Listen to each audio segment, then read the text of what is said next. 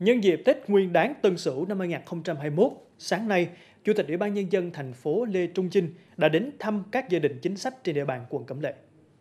Đến thăm nhà bà Trần Thị Liễu sinh năm 1941 là thương binh 1 trên 4, hiện đang trú tại đường Trần Kim Xuyến, phường Hòa Xuân, quận Cẩm Lệ.